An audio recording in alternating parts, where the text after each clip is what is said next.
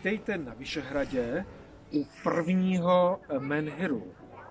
Na Vyšehradě můžeme najít celkem čtyři menhiry, to znamená posvátné kameny, které jsou jako vstyčeny tí stejným způsobem, jako to dělali třeba eh, české domorodé kultury, které tady žily. To znamená třeba staří slované, staří germáni nebo staří keltové. Eh, Vyšehrad je brán jako jedno z nejposvátnějších míst vlastně celých Čech a jeden jako ze dvou hlavních energetických bodů celé Prahy. Takže není náhoda, že právě zde na Vyšehradě, vlastně na skále nad řekou Vltavou, vznikají takovéto krásné posvátné kameny. Tady tento první kámen, ten tady stojí poměrně krátce. Je tady postavený přibližně 15 let. Nicméně byl postavený přesně podle těch starých principů, jak stavěli posvátné kameny keltové. Postavila ho tady jako skupinka eh, pražských hermetiků.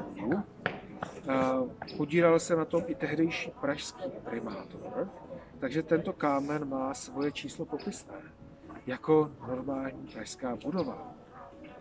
A ti jeho stavitelé ho pojmenovali Osiris. Osiris podle egyptského boha. Protože tvrdí, že ten kámen je určený především pro muže.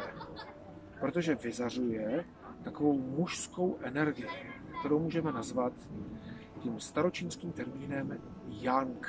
Takže yangová energie. Což neznamená, že by k tomu kamenu nemohly ženy.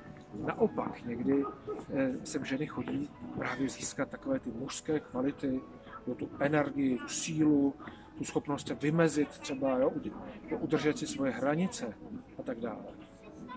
Ale primárně ten kámen je mužský, ale má svůj, svoji ženskou sestru.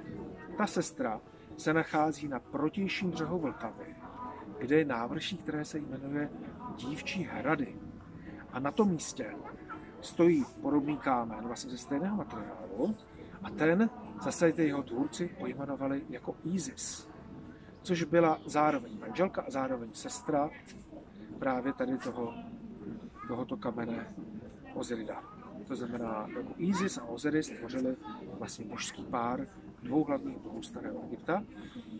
A prostě můžeme se s jejich připomínkou setkat i v Praze, vlastně na dvou takových starých kultovních posvátných bodech.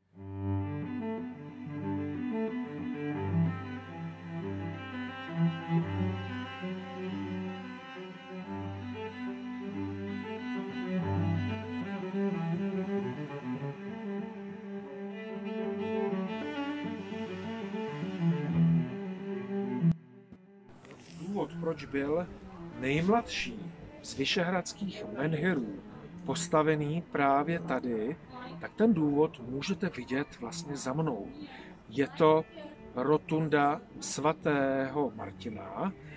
Je to krásná románská stavba, která vlastně stojí právě v místě původního domorodého pohanského posvátného háje. Právě v místě, které je považováno za takové energeticky nejzajímavější, vlastně hned vedle té rotundy postavili tento kámen, který vlastně tvoří s tou rotundou určitý akord. Za mnou vidíme křesťanskou stavbu, tady vidíme vlastně kámen, který navazuje na ty předkřesťanské tradice, ale vlastně dohromady k sobě jako krásně pasují a ono se ukazuje, že vlastně existuje spiritualita, stejně je jenom jedna. A různě ji lidé nazývají. Jo? Někdo Někdo je křesťan, někdo je třeba příznivce starých domorodých náboženství, někdo může mít rád buddhismus, někdo jakékoliv jiné náboženství, ale v podstatě vždycky ta silová místa těchto náboženství se potkávají v těch místech, kde nám ta příroda jako předpřipravila určité místo, které má takovou příjemnou atmosféru, příjemnou energii a o tom se můžete přesvědčit i vy, pokud sem přijdete. Protože Vyšehrad je vlastně neustále přístupný. Se můžete přijít klidně o půlnoci nebo na východ slunce, prostě někdy brzo ráno. Sem se dostanete vždycky, ten kámen je tady prostě pořád volně. Důvod, proč ten nejmladší pražský menhir vznikl zrovna u rotundy svatého Martina, ten je jasný. Jednalo se tady o staré posvátné město, které dotečka vyniká jako mimořádnou energii. Ta rotunda svatého Martina, kterou vidíte za mnou, to je největší pražská rotunda. Měla být vícekrát už zbourána jako neužitečná, ale vlastně vždycky potom sloužila k nějakým hospodářským účelům. Podle znalců starých českých pověstí je právě tady u rotundy svatého Martina nejzáhadnější místo Prahy, co se týče podle velkého počtu pověstí o strašidlech. Měl se tady v noci pravidelně ukazovat černý pes s ohnivýma očima. Měly se tady objevovat přízraky mrtvých mnichů mrtvých vojáků. Ale já jsem chodím poměrně často, někdy i v noci, a nikdy jsem tady jako žádné jako duchy ve smyslu strašidel nepotkal. Takže vůbec se nemusíte bát se přijít kteroukoliv denní noční dobu. Zdá se, že ta éra pražských strašidel už nějakým způsobem skončila. Domnívám se, že za to můžou i ty naše elektrické sítě, ty Wi-Fi a další jako elektrosmog, který prostě pro existenci těchto jakoby nadpřirozených bytostí prostě není vůbec příznivý.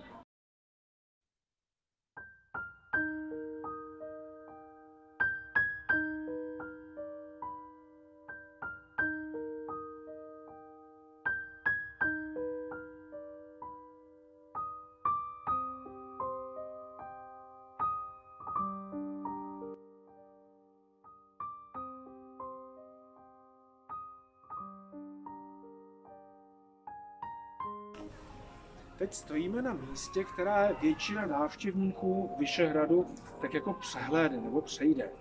Ale vlastně v těchto místech v minulosti byla taky velká slovanská svatyně, na jejich základech potom postavil císař Karel IV. Eh, poměrně rozsáhlý kostel zasvěcený svatému Janu Křtiteli. Ten kostel tady stával až do 18. století. Ale potom vznikaly barokní hradby. A ten kostel překážel při výstavbě těch hradeb, tak ho prostě jednoduše zbourali. Zbourali a zůstali tady pod ním jenom zbytky vlastně ve zdi, té hradební zdi a taky tady postavili vlastně v tom stolety takovou malou kapličku vlastně na památku kostela, který byl zbouran jenom kvůli vojenským účelům. Je škoda, že se nedotoval, mohla to být jedna z dalších velkých atrakcí tady našeho Vyšehradu.